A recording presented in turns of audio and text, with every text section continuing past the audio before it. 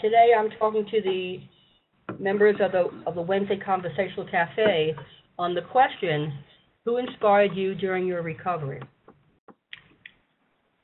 Don, why don't we start with you? Don, can you tell me how long it's been, uh, in terms of your recovery?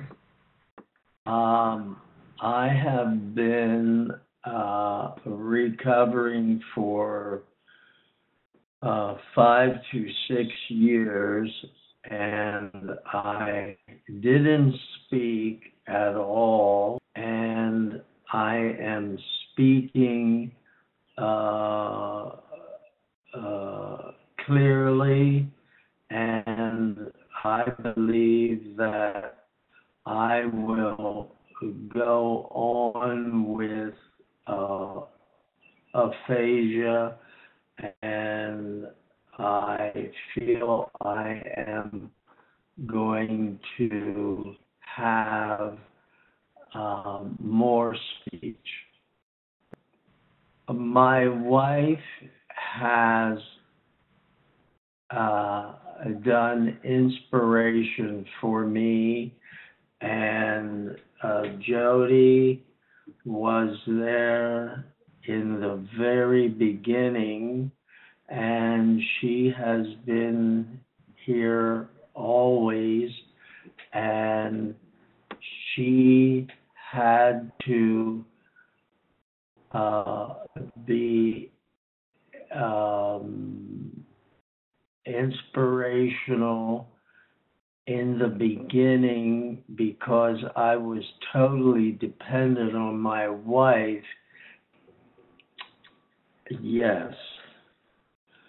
My uh, doctor uh, said, you know, uh, he might not talk, and he was in the room so I could hear it, and I knew I was going to talk again. I'm, uh, well, I had an image from God, and I knew I was either going to die. I saw this white light, and I was literally over the bed, and uh, he said that it's okay if you come to me or you go back to earth. And I somehow knew that if I went back to earth, I would speak again. Very good. So I think in two words, you could say, I believe. Yes, I believe. Okay. So Laura, my question then is, tell me a little bit about your background. Um, how long has your recovery been? Seven years. Wow, it's a long time. Mhm. Can you us perhaps a little about what happened? Yeah. Um, I hit by a truck driver. Um, so Were you in school at that time? yes. Okay. And I know you're working very hard to get your recovery completely back, right? Yeah. So what is it that you want to do? I'm going to back to school. Good for you. Mhm. Who has inspired you the most during your recovery? Give, giver. I don't. Uh, Um, I. I forgot her name myself. Gabby yes. Gifford. Giver. Yes. Yeah. And and why does she uh, inspire you so much? Um. I don't know. Um. She's worked very hard, right? Yeah. I mean, she was a very successful uh, congresswoman before her before before she was uh, hit by the, the the bullet, right? Mhm. And she's still working very hard on her recovery, just like you are. Yeah. So I think you're the person who's giving inspiration to other people as well, right? Yeah. Thank you, Laura. Um, first of all, um, I, um, I am, um, um, if eight years ago, I have a, a bleed in the brain. Yeah, you had a, a bleed in the brain, like an AVM. Yes. Okay. And what did you do before your stroke? Before the AVM?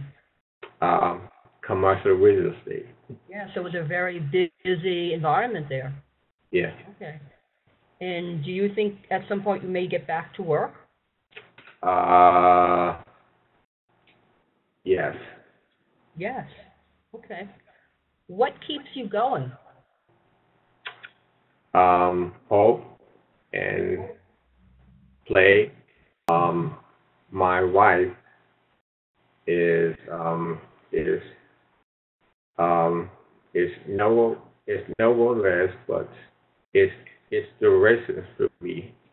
hmm And then um, I I go I go to um, AYH hmm and then um hospital service and then um she said don't quit Laura, I forgot to ask you that same question. Is there a particular uh, um, motto that you live by as well?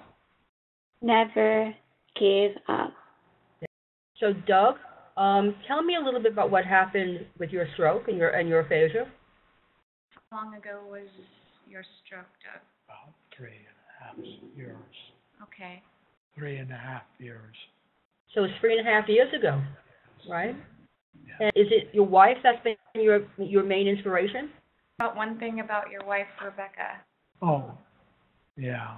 What's Yeah. one thing that she does that She- inspires you? Well, she she takes a long time. Uh,